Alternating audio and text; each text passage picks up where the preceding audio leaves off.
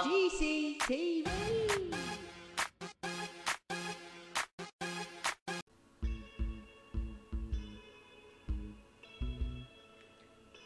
Are you flirting with me? hey guys! Right, what is with all this flirting business? What is with it? I mean, have you ever been, like, in a shop or just anywhere really, and you see someone, you're thinking, God, you know what? They're really, really fit.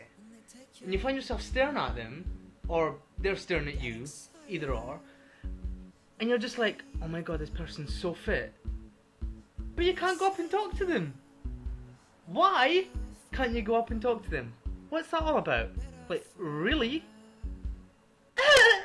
stop tickling me! Stop tickling me! Stop it! Stop it! Stop it! Oh, it tickles it! Oh, it hurts! It hurts! Stop it! It hurts! No, really, it hurts! Sort it out. Really? So what do you do? Well, how about you go up to them and say something? Anything. You staring at me? What's your problem? Uh, sorry, have I got something on my face? Well, hello. Get your jacket, you pulled. What do you think you're staring at, weirdo? Take a picture. It lasts longer. So, why can't you just walk up to someone and speak to them? I mean, why? Why do people get nervous? Why? Why do you think there's a problem? I'll tell you why. It's because we're scared of rejection. We're scared in case someone goes,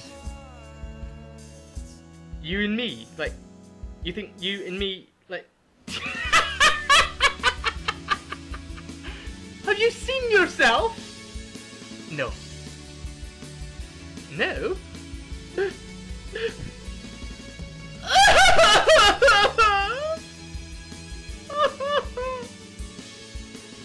well, I was testing you anyway, and guess what? You failed. Up yours, bitch. so, we can try dating sites. Uh, send someone a message on Facebook. Send someone a text. Guess what, mate? I know somebody that fancies you. Wanna try? Could try that.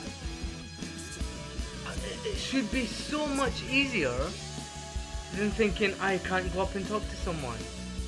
Like, it's so weird. Guys are like, oh, you know what? I just don't understand women. I don't know what they want. Women are like, what guys are like? They treat me like shit. Or they just don't get guys. Gays, gays are just like that. Alright, fancy a Aye, alright then, let's go. Why do we get scared of this rejection? Someone says no, so what? If they say no, there's someone better out there for you. That simple. Their loss, not yours. Um, right, what I want you guys to do is to get back to me with stories of you asking someone out, okay? Um, you, if you don't ask, you don't get. Simple pimples. I've got my hippo.